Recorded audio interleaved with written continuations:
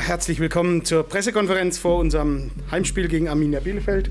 Sonntag um 13.30 Uhr. Wir erwarten rund 29.000 Zuschauer, davon etwa 800 aus Bielefeld. Unsere Bilanz gegen den Arminia ist positiv: 15 Siege, 7 Remis, 14 Niederlagen. Schiri am Sonntag ist Patrick Ittrich, Polizeibeamter aus Hamburg. Marek, was macht unser Kader? Was macht die verletzten Situation? Wer wird am Sonntag mit dabei sein? Kader die Verletzungen. Äh, Alexander Fuchs hat heute Abschlusstraining bei U21 absolviert, genau gleiche wie Fabian Schleusener. Der hat selber gekommen und hat gesagt, der fühlt sich richtig gut. Das heißt, der braucht langsam Spielpraxis. Heutige Abschlusstraining auch bei die U21 und morgiges Spiel in Memmingen. Und Paul Besong hat sich letzte Woche bei U21 verletzt, aber seine Fortschritte sind, sind gut. Paul kann wieder alleine laufen. Das heißt, das sind die drei Namen, welche sind nicht im Kader, plus Adam Zrelak. Der braucht noch ein bisschen Zeit. Das heißt, dass mit Olli Sorg und äh, Enrico Valentini auch die beiden Außenverteidiger wieder zurückkommen werden? Walle ist seit gestern voll im Training dabei. Mm, Olli war Mittwoch in Würzburg wegen einer speziellen Untersuchung. Der fühlt sich richtig gut. Gestern hat individuell trainiert und heute fängt mit Mannschaft ganz normal trainieren. Dankeschön. Eure Fragen bitte. Stefan Jablonka, Nürnberger Zeitung. Äh, Marek, weißt du denn schon, wen du ins Tor stellen wirst am Sonntag? Ich denke, ihr habt schon alle die Informationen, was ist gestern im Training passiert. Der Andi kommt nach seiner Krankheit wieder zurück, erste Mannschaftstraining und leider hat sich gestern im Training wieder verletzt. Das heißt, Diagnose heißt Muskelfaserriss. Für ein paar Wochen ist raus und wir haben Sonntag im Tor wieder Benedikt Willert. Chris Bichele vom Kicker. Du kennst ihn ja aus, der U, aus dem U-Team relativ gut. Äh, was traust du ihm zu? Glaubst du, äh, er kann das unglückliche Bochum-Spiel für ihn auch, also es ist ja auch für ihn sehr unglücklich gelaufen, wenn man das zweite Tor sieht. Äh, wie kann er das wegstecken und wie sehr kannst du ihm dabei helfen? Ich kenne den Benedikt schon ein paar Wochen her. Der liefert unten bei U21 Top-Leistung in Training oder in die Spiele. Natürlich Unterschied zwischen vierter und zweiter Liga ist, ist extrem. Benne hat die Chance Montag in Wochen bekommen bei 2-0. Ja, es passiert sich. Der ist 18. Ich denke, irgendwann muss man auch die Fehler akzeptieren. Auch wenn natürlich die Fehler kosten Punkten, aber wir vertrauen ihm. Der Junge, ist, der Junge hat seine Qualität und wir hoffen alle und wir glauben, die Mannschaft steht hinter ihm, der Trainer, Trainerteam steht hinter ihm und wir hoffen und glauben auf, auf die gute Leistung gegen Bielefeld.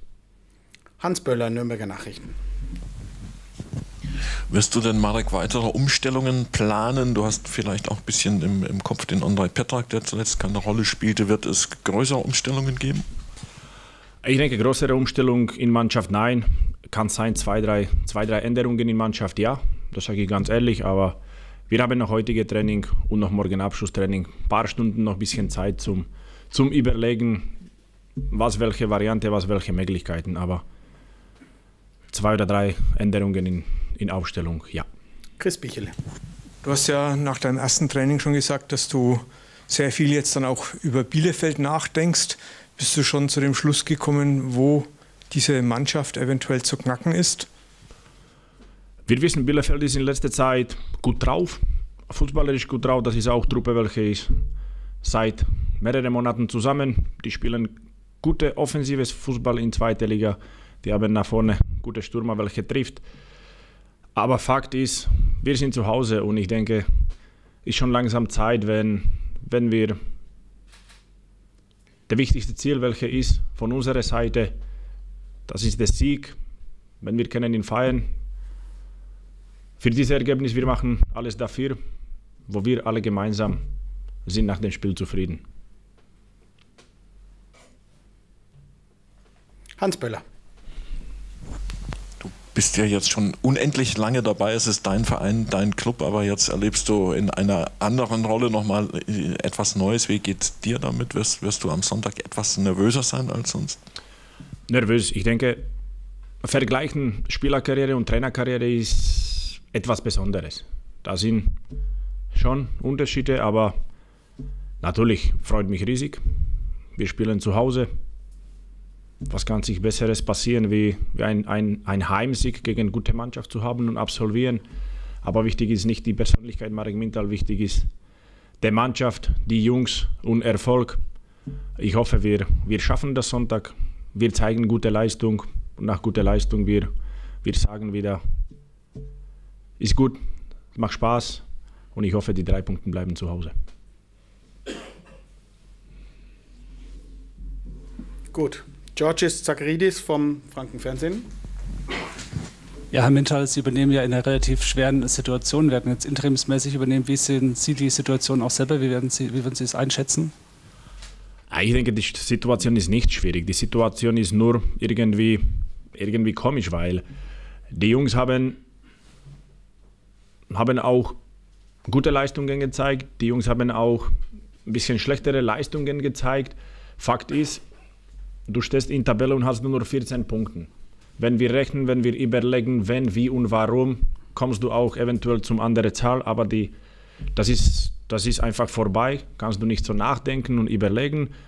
Fakt ist, wir, wir fokussieren uns auf, auf Sonntag, was kommt, was passiert sich und alles andere ist, ist in diesem Moment, diese Phase einfach unwichtig. Mannschaft, Ergebnis, Zuschauer und Leistung. Gut, dann danken wir euch fürs Kommen, wünschen allen ein schönes Wochenende und wir sehen uns am Sonntag zu Hause gegen Bielefeld. Dankeschön. Bitteschön. Dankeschön.